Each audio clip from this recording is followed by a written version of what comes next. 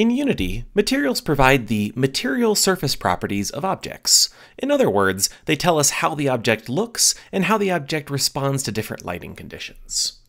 Materials are used most commonly with 3D objects, and when you create a new 3D object in Unity, you'll see two components. The mesh filter, which contains information on the actual geometry of the object, and the mesh renderer, which is where we're going to assign our material to this object. Materials have two parts. The first is a shader. This is the code that tells Unity how to actually render your object. The second is the material properties, and these are settable by you to customize the look of your material.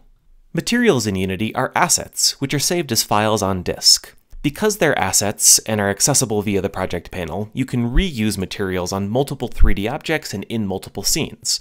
And in fact, this is the intended workflow for materials. If we were to create, say, a rubber material, we would apply that single material to every rubber object in all of our scenes. Doing so helps the efficiency of our rendering. Unity can batch the rendering of all of the rubber items together, saving time and saving computation. There are three main ways to create materials in Unity.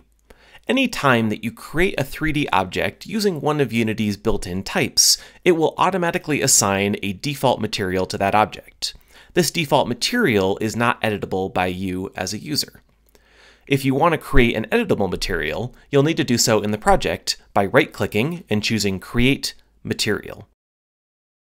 The third way that materials can be created is when you import 3D models. The 3D model may have an embedded material, which you can then use. By default, these embedded materials are not editable, however, you can extract them from the 3D model to edit them. One note of caution is that uh, materials are defined differently in 3D modeling programs than they are in Unity. So when you import a 3D model, the appearance may look quite different, and a lot of the 3D material settings may not transfer correctly. Editing materials can be done two different ways. You can either select the object in the project and edit the material directly, or you can edit the material on one of the game objects in your scene. If you select a game object that has a material, you'll see the material at the bottom. It may be hidden, and you can click to expand the material. When editing a material, you'll see a material preview at the bottom.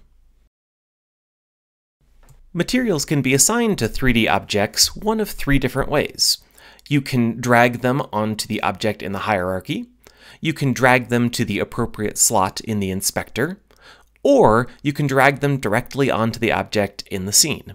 When you do so, as you move around, you'll see a preview of how that material will look when applied to that object. It's important to remember that when editing a material that's assigned to a game object, you are editing the material asset, meaning that all other objects that use that material will also change across all of the scenes of your project. When creating a new material, Unity provides two built-in standard physically based shaders that you can use to define your material.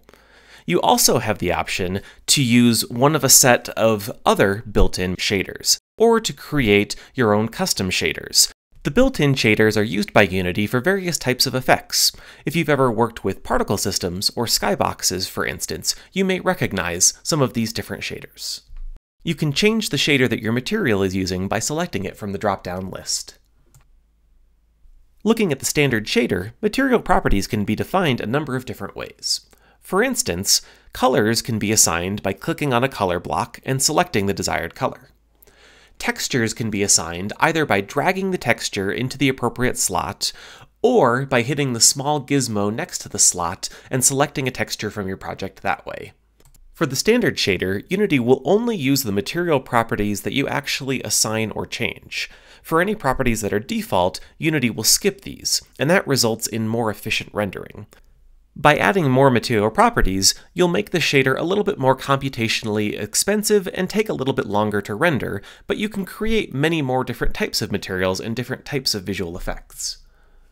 The normal map property is a little bit special.